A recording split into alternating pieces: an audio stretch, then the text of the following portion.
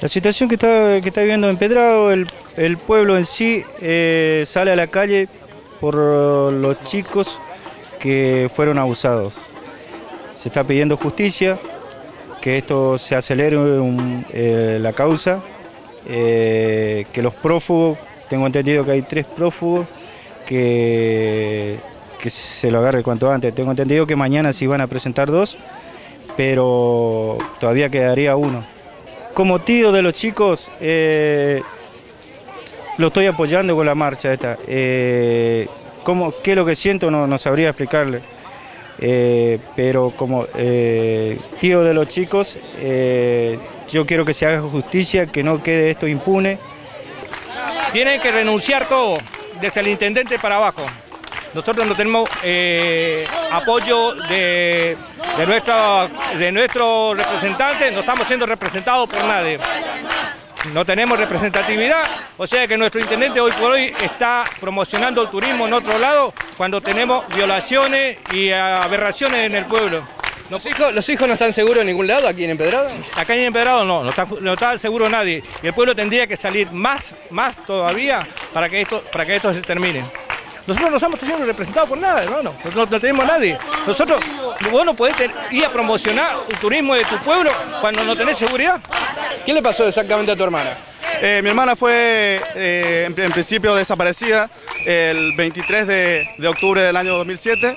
y a los tres días eh, se encontró muerta en un descampado. Se hablaba de, de violaciones, se hablaba de, eh, de estrangulación y principalmente también de la, de, de la involucración, digamos, de, de- de droga también.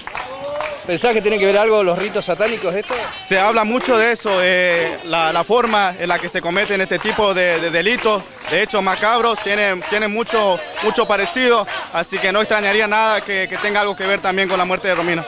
Como concejal, ¿cómo- ¿qué siente justamente que uno de sus pares esté involucrado en- en- también en las violaciones? O sea, este, con respecto a ese tema todavía no, no puedo opinar porque la justicia no se expidió. Es lamentable, pero más allá de los cargos te digo que tengamos, este, nos duele todo lo que está pasando como empedradeño, más allá de los títulos, los honores y los cargos que tengamos circunstancialmente. ¿Quién sería, digamos, el concejal que está involucrado? Y por lo menos por decisiones periodísticas estaría involucrado un concejal del Partido Liberal, pero, o sea, te reitero, son de, este, denuncias periodísticas, no me consta particularmente. Sería el doctor Gómez. ¿Ustedes están pidiendo, digamos, que se intervenga, que haga algo, digamos, el cuerpo? Este, vamos a reunirnos con el cuerpo seguramente este, y veremos a ver, pero hasta que no tengamos este, un dictamen de la justicia, nosotros no, no actuare- actuaremos como cuerpo, digamos. Yo vengo a apoyar a estos chicos, vengo por todos los chicos de Empedrado, porque es, es injusto. Con los chicos no, por favor. Los chicos no. ¿Qué se ha enterado que le hacen a los chicos? Y cosas horribles. Por lo que se, uno se entera por los medios, es horrible las cosas que le hacen. Horrible. ¿Alguna vez se imaginaba esto? No, jamás. Jamás me imaginaba. ¿Cuántos años vive aquí en Empedrado? Yo nací, me crié en Empedrado. Bueno, a veces, eh, algunos años no estuve acá, pero este es mi pueblo. Yo vivía feliz porque este era un lugar tranquilo, pero hace unos años no hay tranquilidad.